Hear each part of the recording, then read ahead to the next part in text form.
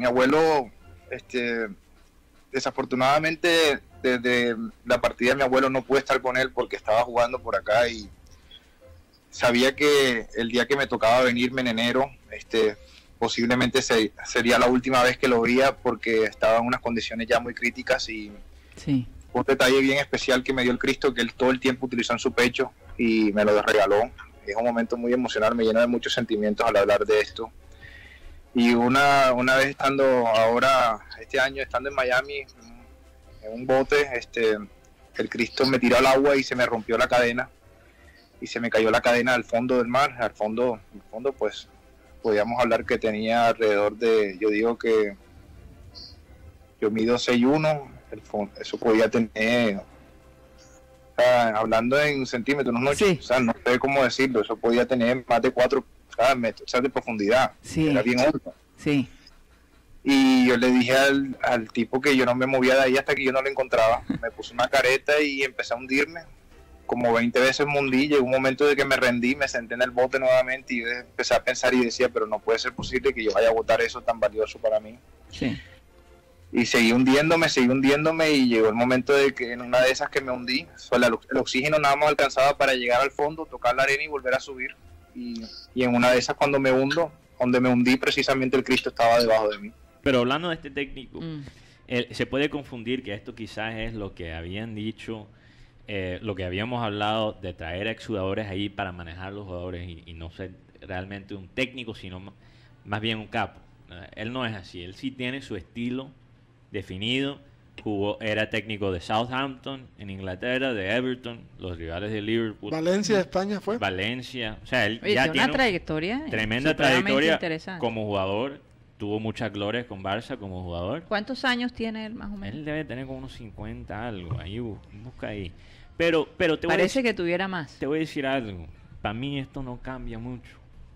No cambia mucho. Cambiar el técnico no cambia mucho. Yo lo dije mm. cuando, cuando estuvo Valverde, porque los fanáticos de, Barcelona le querían echar todas las culpas a Valverde. Mm. La razón que no hemos jugado esta temporada es que ese, ese Valverde, ese Valverde se complica, Valverde no sé qué vaina. Como si él tuviera toda la culpa del Barça. Y no es verdad. Mira lo que pasó, otro técnico bueno, no increíble, pero Quique Setién es un técnico mm. bueno. 57 años. 57 años. Tenía razón, 50 y algo. Quique Setién, buen técnico, pero o sea, tampoco puede hacer un milagro. Estamos hablando que esto es un problema de sistema, desde los jugadores hasta el presidente. La gente sí se ha preguntado por qué las iglesias no las han abierto. De todos modos, eh, la cantidad de gente que puede haber en una iglesia es un poquito más complicado. Creo que también tienen que cambiar la ventilación del aire acondicionado. No, es tan simple. No, es tan simple, como es. Yo, dudo que, que, la intención es dejar de último a Dios. Ese no eh, es el eh, propósito. exacto. Y, y aunque mucha gente está, se está aprovechando de la situación para empezar a decir que básicamente es un complot del, del diablo. Mm. Ahora, yo pienso es que, porque la, la, comparación que tiene más sentido no, no son los moteles, es más bien los, cines, los teatros. Pero lo que pasa es, que en el cine, antes de empezar, no hay una canción que sale donde tiene que saludar a todo el mundo en el cine, como hay en una iglesia, ¿me entiendes? pero eso puede cambiar. Y además, eh, si la iglesia si la iglesia se compromete a tener todos los aspectos de, bioseguridad, yo no veo por qué no abrir el punto, la iglesia. El punto es que muchas iglesias tienen más de 600 miembros.